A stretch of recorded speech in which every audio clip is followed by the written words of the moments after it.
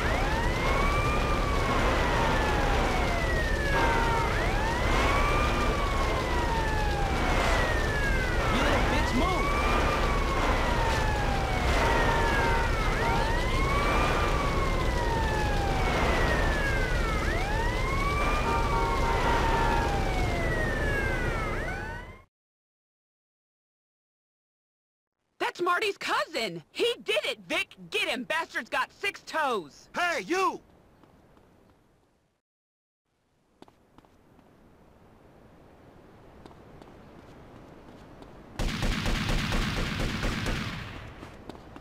Hey, You want a